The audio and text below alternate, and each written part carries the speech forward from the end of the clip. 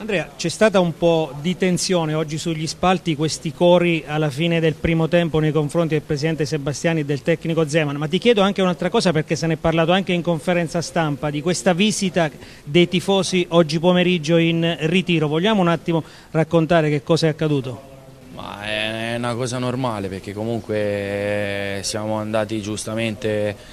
i più grandi anche perché comunque detta fra di noi è una squadra molto giovane e ha bisogno ecco, di, di, non avere troppe pressioni. Mi ricordo che quando ero giovane anch'io i più esperti comunque si sobbarcavano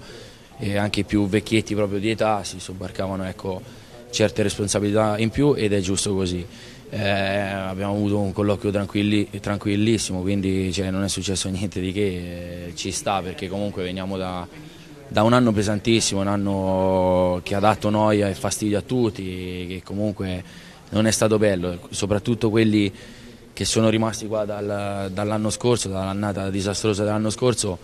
vogliono cercare ecco, di rimettersi in pista come, come è giusto che sia e come merita la piazza, perché come dissi anche l'anno scorso è una piazza che comunque abbiamo visto tutti, eh, io ho avuto la fortuna anche di vederla ne, purtroppo mi ero fatto male quando sono arrivato a febbraio, ma ho avuto la gioia di, di festeggiare e, con Mister Rod e tutti. E abbiamo visto 150.000 persone da Montesilvano a, a Piazza della Stazione. E è normale che è una piazza che, che esige tanto ed è, giusto, ed è, giusto, così ed è giusto che come, come dissi anche l'anno scorso e tante volte anche all'inizio di quest'anno L'anno scorso, nonostante avessimo fatto un campionato veramente di, disastroso, c'erano 13-14 mila persone allo stadio, quindi abbiamo visto anche ai playoff che siamo riusciti a portare 18-20 mila persone e quindi eh, è giusto così, nel senso che comunque è un momento delicato, venivamo da, da due vittorie e due sconfitte, un po' altalenante, è giusto che comunque eh, come ho detto prima ci sia una, una responsabilità da parte anche dei, dei più grandi, ma quello c'è perché comunque i ragazzi giovani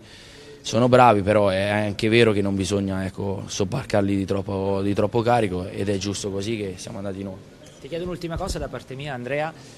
quanto va sottolineata l'importanza di questo pareggio, perché non ci dimentichiamo che è arrivata contro una grossa squadra e nel secondo tempo il Pescara ha fatto questo piccolo salto di qualità, quindi diciamo ripartire da questo anticipo per iniziare oggi il campionato? Certo, sicuramente come, come ho detto prima, avevamo iniziato alla grande la partita, per, eh, ci siamo trovati 1-0 subito, quindi